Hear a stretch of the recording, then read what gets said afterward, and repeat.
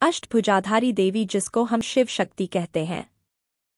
शिव और शिव की शक्तियाँ अष्टभुजाधारी देवी हमने कभी भी नहीं क्वोटेशन किया कि अष्टभुजाधारी देवी कैसे होती है। और फिर हर भुजा में उसके हमने अलग अलग शस्त्र दिखाए। और फिर देवी के पैरों के नीचे क्या दिखाया हमने दिखाया असुर।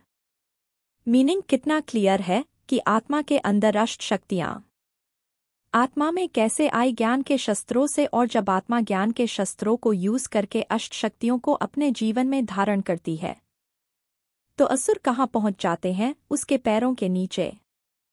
पैरों के नीचे पहुँच जाएँगे मतलब वह देवी क्या करेगी? उस असुरों के ऊपर जीत पाएगी। तो कौन सी शक्तियाँ हमें जीवन में धारण करनी है और धारण भी क्या करनी है? वह आत्मा के अंदर ऑलरेडी है। हमें उनको यूज़ करना शुरू करना है। तो परमात्मा कहते हैं, सबसे पहली आपने सारी शक्ति चेक कर लेनी। और सारी हमने यूज़ करनी है, तब होगा सच्चे मायने में उस अष्टभुजाधारी देवी का आह्वान करना। सबसे पहली शक्ति है कि जब भी कोई बात आए और परमात्मा बहुत सुंदर मिसाल देते हैं। हमें वह है कछुए के सामने जब कोई डेंजर आता है, कछुआ क्या करता है?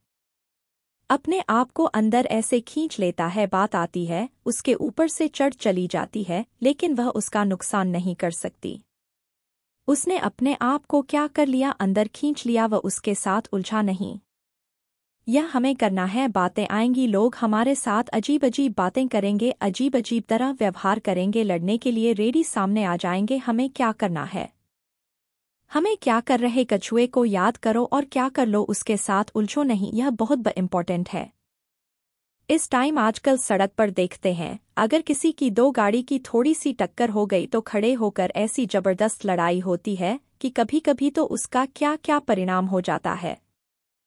आजकल लोग अपने परिवार वाले को क्या बोलते हैं? छोड़ दे, उलझ नहीं, बैठो, गाड़ी में लड़ना नहीं, कुछ का कुछ हो जाएगा, बोलते हैं ना। यह है फ़िज़िकल लड़ाई की उलझो नहीं, पता नहीं सामने वाला क्या करते। एक है सारा दिन संकल्पों की लड़ाई। एक है शब्दों की लड़ाई सामने वाला आया है, उस तरह से बात कर रहा है, निंदा कर रहा है, गलत बोल रहा है, वो टग ऑफ़ के जैसा है। वो टग ऑफ़ वर्क तेना स्कूल में तो वो रस्सी दो एंड पर है। अगर आप अपने एंड वाली रस्सी को छोड़ दो तो सामने वाला तो ऐसे ही रस्सी को लटका ही रह जाएगा। गेम तो वही खत्म हो जानी है। सारी छोड़ दो, उस रस्सी को बोलो, खेलो, आप हम इस खेल का हिस्सा नहीं है। कितनी सारी शक्ति हमारी नष्ट होती है, सिर्फ़ लोगों के साथ उलझने में। जिसके मन की स्थिति इस टाइम लो हो, उसके साथ उलझ तो खुद की मन की स्थिति भी क्या हो जाएगी? तो जैसे ही कोई ऐसी बात आए तो सबसे पहले कुछ क्षणों के लिए अंदर मतलब अपने मन की स्थिति पर पहले संयम। परमात्मा को याद करके परमात्मा से कनेक्शन अपने आप को किया प्रोटेक्ट तो बात आएगी और बात चली जाएगी। लेकिन अगर अपने पर अटेंशन नहीं रखा परमात्मा से कनेक्शन नहीं जोड़ा और सोचा इनको सिखाऊं कि ठीक बात क्या है तो फिर हम उनसे उलझ जाएँगे। कुछ लोग हैं जिनसे हम डेली बेसिस पर उलझते रहते हैं। उलझना मतलब ऐसे ही आर्गुमेंट शुरू कर देना, वह जिस टोन में बात करते हैं, उनसे उसी टोन में बात शुरू कर देना।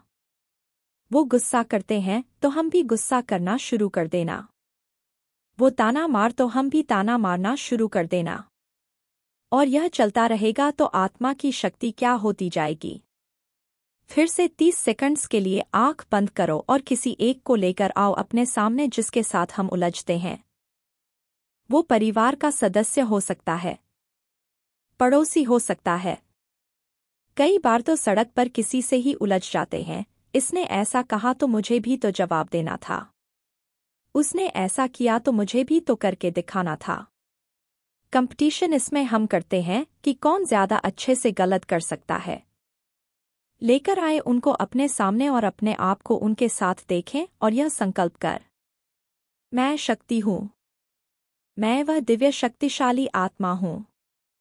नेगेटिव एनर्जी कमजोरियाँ मेरे पुराने संस्कार मेरे पैरों के नीचे है।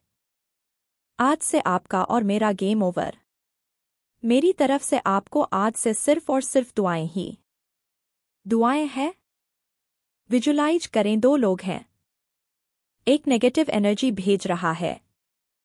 अहंकार के वश ईर्ष के वश, दुख के वश इनसिक्योरिटी के वश, कोई भी रीजन से वह भेज रहा है। और आपके यहाँ से आपने वो वाली एनर्जी में उलझना बंद कर दिया तो आपकी तरफ़ से क्या जाएगा? जब हम मंदिर जाते हैं, देवी देवताओं की मूर्ति के सामने नमन करते हैं तो हम पता है क्या कहते हैं हम। कहते हैं, मैं नीच हूँ, पापी हूँ, कपटी हूँ कहते हैं, ना आरती में, मैं नीच हूँ, पापी हूँ, कपटी हूँ देवी देवता सामने से क्या करते हैं?